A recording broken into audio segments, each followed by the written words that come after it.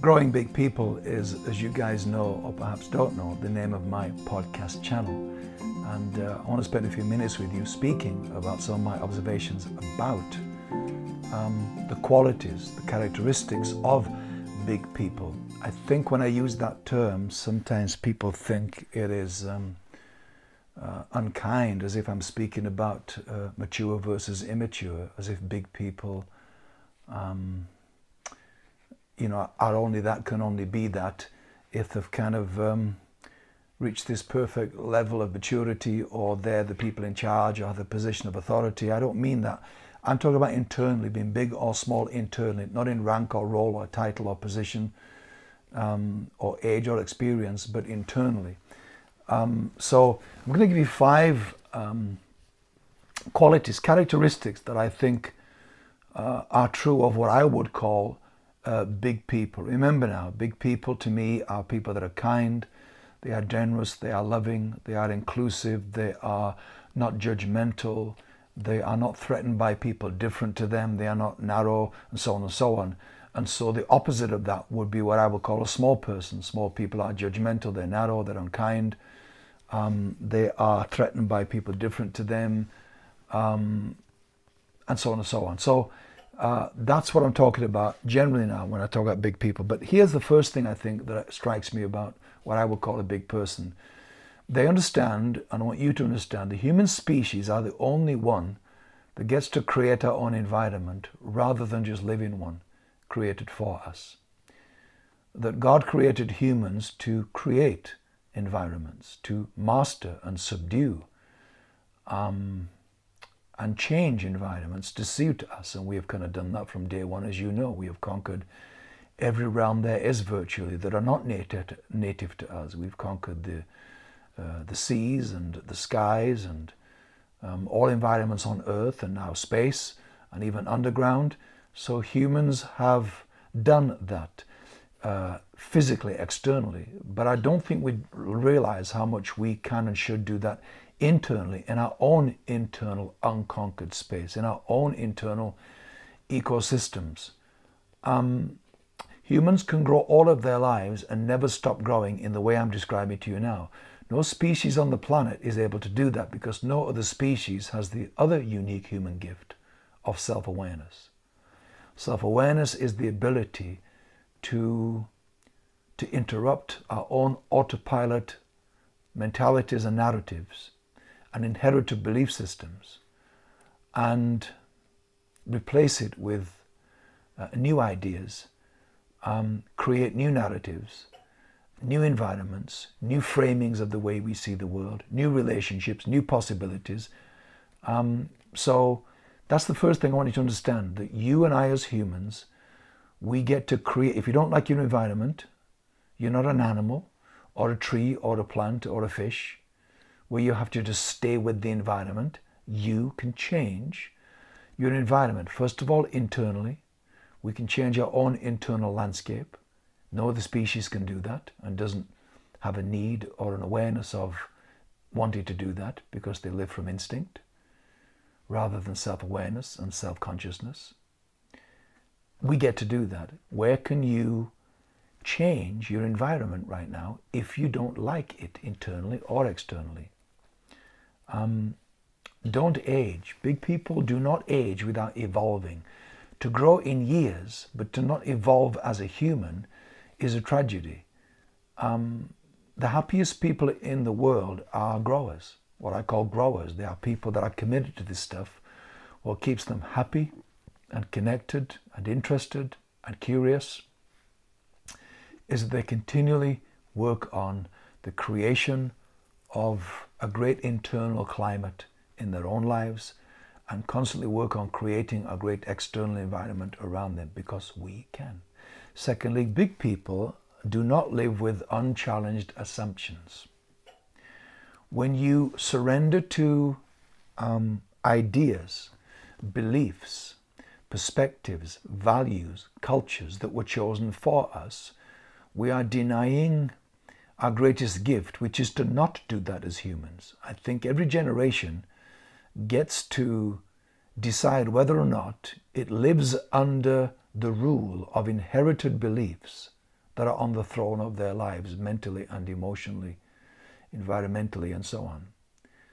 And growing, flourishing humans um, have the courage to challenge any assumption that was handed to them, imposed on them by, by nurture and by conditioning. And if you want to keep growing as a person, you cannot live with unchallenged assumptions because that's killing us all around the world. I'm encouraging you, and this this is never too late to do this, but the longer you leave it, the tougher it gets. It's like an old dog and new tricks scenario. So I'm encouraging all you younger people listening to this, watching this, that um, you do not live with unchallenged assumptions. Ask yourself, where does that default autopilot mindset, behavior, habit, um, opinion come from? And is that okay? Is it one of mine? Is it my parents? Is it my cultures? Is it my race? Is it my gender? Is that where it came from? And is it okay?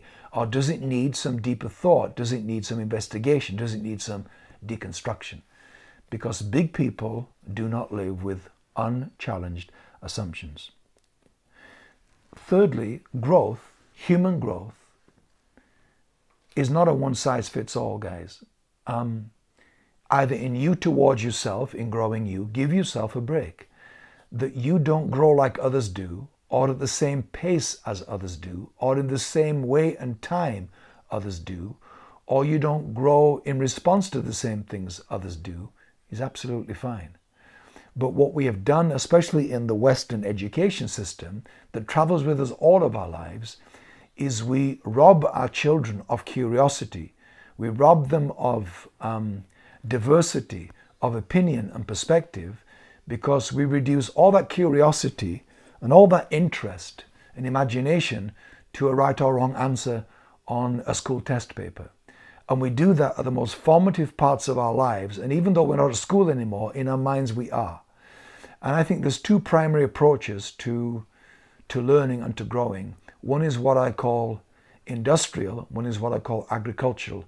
An industrial approach to human learning is a one size fits all batch mentality, or our education system, or many other um, groups um, and uh, cultures that have this one size fits all. This is what you do, know the way to do it, do it this way, penny in the slot chocolate bar, results good on you. That is not good for human learning. It doesn't fit us at all and the emerging generation, especially that are differently wired to my generation, especially it doesn't fit them because they have multiple forms of intelligence, not just an academic one, which is the main way in the West we've measured one size fits all academic intelligence. Um, an agricultural approach to learning and growing is much more to me what we should be leaning to as humans. It is organic, it is natural, um, it is in keeping with how you're wired as a person. Um, it is multiple choice. Um, it celebrates different kinds of learning. It doesn't try to control outcomes. When a farmer sows seed, agricultural analogy metaphor, rather than manufacturing, when a farmer sows seed, he knows he cannot control so much that comes next. He can till the soil, put in the seed, but then he is at the mercy of the climate conditions um, as to what happens then to that seed. That's what I mean agricultural approach to learning is you sow the seed, do the best you can to do that well, and then you have to step back and hope that the soil conditions and the weather conditions and the climate um, are positive for that seed to have its full potential. So don't have a one size fits all as you teach others, and don't let others put you into a one size fits all manufacturing batch mentality when they teach you. Growing people don't do that. We hope you're enjoying today's podcast with Paul Scanlon on Growing Big People. We just wanted to let you know about Paul's online course about growing big people, which is now available at half price for a limited time only. This course is broken into eight videos, comes with the audio and a Q&A workbook to download, all over three hours. To get access to this great offer, click the link in the show notes. Thank you for listening and enjoy the rest of the podcast with Paul Scanlon. Number four, um, big people, growing people, I've noticed, get out of control on a regular basis, meaning we do not grow in environments we control, though we like them. Um, and especially as you age, the older you get, the less we are comfortable with things that we don't know, are not predictable, are uncertain to us. That's why as you age, especially as you age, this is why I do a lot of teaching on aging well, an online video course I do called Aging Well, because as we age, um, we, we become more entrenched, less open to new ideas, less curious, um, and start to live safer and get more of a risk aversion instead of having a openness to risk um, and getting outside the boxes we kind of surrender into mentally, emotionally, relationally, and so on. So, uh, getting out of control regularly is something you have to be intentional about if you want to keep growing. Keep being uncomfortable in big and small ways. Get around people that make you feel uncomfortable because they see a thing different to you. Uh, read a book from someone whose opinion you know would make you feel uncomfortable listen to people, be around people, be in environments, um, experiment with different habits um, and behaviors that you know are uncomfortable for you in whatever way they are mentally, emotionally, relationally, uh, financially, socially uncomfortable. And I think there's something in our commitment to that that keeps us on our toes, keeps us growing, keeps us flourishing. I think big people have committed to that. Um, if you're the smartest person in the room, then you are in a coffin. You're not in a room. And I think what I'm saying about getting out of control regular is that you need to listen to people that are smarter than you, that have figured something out better than you, that have a knowledge beyond you and I. And it makes you feel uncomfortable because when you think you know all there is to know about that, or you think you're an expert, then you hear someone else speak and it's like, whoa, I'd never thought of that. That's good for us. And growing people regularly get out of control, knowing we do not grow where we control everything. And five, and finally, um, big people live from their soul, not from their ego. I've thought a lot about this in recent years, and this is why I did, again, an online teaching course about the prosperity of the soul, because I think we have to decide in life where we primarily live from.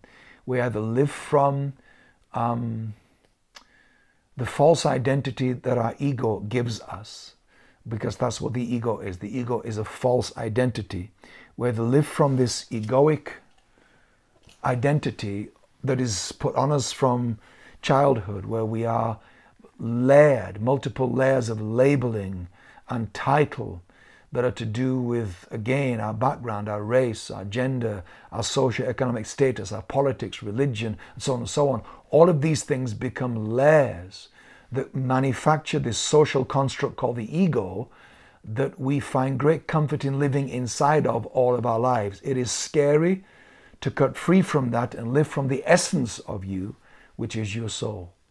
But the most and the best flourishing, human beings in any generation are that because they have uncoupled from the tyranny of the leadership and government of the ego and have surrendered and free falled into uh, the rhythms of grace that only come from living from the soul. Because the soul is filled with love and service and contribution and kindness and care and compassion and empathy that's the soul. That's not the ego. The ego is the personality, and depending on what your personality is like and what it's rooted in, you may not be any of those things, or you may be those things in a smaller measure than you could be if you live from your soul. The greatest humans in history, some of them we saw in history and became aware of them because of leadership or something they wrote or said or did. The greatest humans in history, if you examine where they lived from internally, they live from their soul because all growing, flourishing humans live from their essential self, which is the soul, rather than their false self, which is the ego. All right, I hope those five ideas about what growing people are like and what we want, I think, to be like essentially as humans. I hope those five component parts of big people are helpful to you tell someone, pass it on. Please don't forget, subscribe to my podcast channel if you don't already.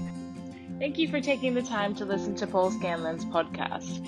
We wanted to remind you about the Growing Big People 50% off online course. You can find out more about that offer in the show notes. And don't forget to subscribe and share. Thank you again for listening.